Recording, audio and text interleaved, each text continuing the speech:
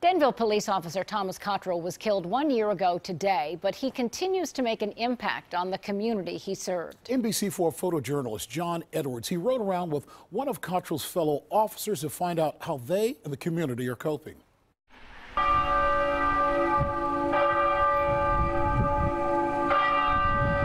He's everywhere. He's he is throughout this community, uh, throughout the ballparks, the schools. In the small country village of Danville, population of about a thousand, the police department tries to heal. There's not a day that goes by that we don't think about Tom or his family. Everywhere, you can see signs of love and compassion. The outpouring of support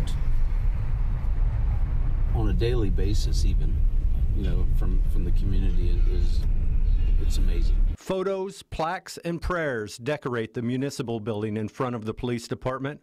All of them pay respect to Officer Thomas Cottrell. Oh, I know you've been cooped up all day. Yes.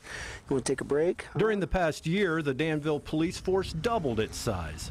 They've added three police dogs, one for each shift, all from community support.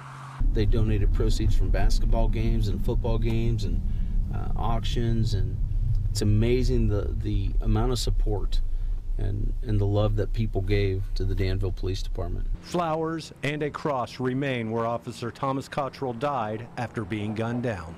When you pull into this department, if it doesn't cross your mind what happened here, and if you don't remember and pay some kind of reverence to to the reality, then there's something wrong with you. You're probably you don't belong in this line of work. John Edwards, NBC4 Danville.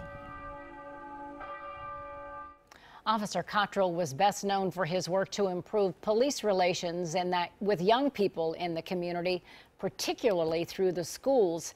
And they say he is still sorely missed there. And did so much with local Little League programs Yeah. as well. His fellow officers, they continue that effort. In fact, last fall, they escorted Cottrell's three daughters and their dates to the homecoming dance. That's really being part of the community. Yeah, and I'm sure the dates appreciated Oh, yeah, the armed escort.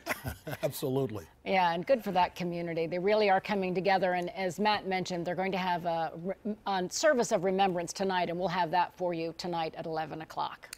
Now,